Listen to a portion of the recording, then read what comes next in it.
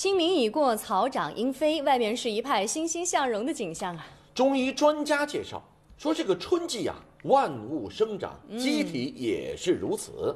这个清明呢，作为一个重要的养生节气，该如何养生呢？来看，清明是农历二十四节气中的第五个节气，也是最重要的祭祀节日之一。清明一到，气温升高，雨量增多，繁忙的春耕时节就到了。好雨知时节，润物细无声。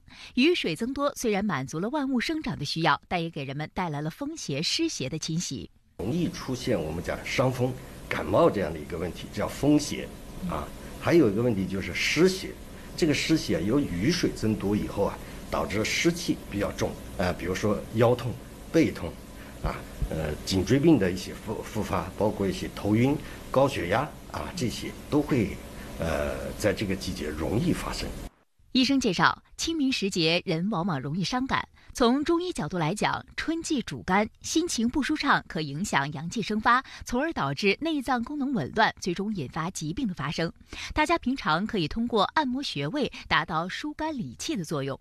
第一个穴位呢，我想建议大家就是采用一个内关穴啊，内关穴的按摩。内关穴在什么地方呢？它是在人体的手。啊，手腕这个地方，那么这个地方呢，手腕上啊两寸，啊两寸的时候，我们讲中医叫三横指，啊，在这个部位啊，一般的呃三分钟、五分钟啊这样的，它有酸胀的感觉，啊，我们中医讲究一个配穴，就配上我们的太冲穴，哎，那这两个一配合以后，它就起到什么疏肝理气、宽胸啊，就这样的一个作用。此外，医生提醒，清明时节养生应重在养血舒筋，饮食讲究清淡，以清补为主，多吃时令蔬菜水果。同时，这段时间踏青时不宜运动量过大。